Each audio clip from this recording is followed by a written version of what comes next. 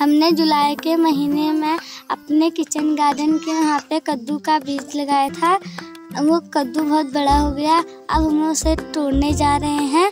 हम फिर अब सितंबर लग गया। हमें एक कद्दू मिला है और कद्दू तो बंदर ने खा लिए और एक ही कद्दू बचा है। वो बहुत सुंदर है।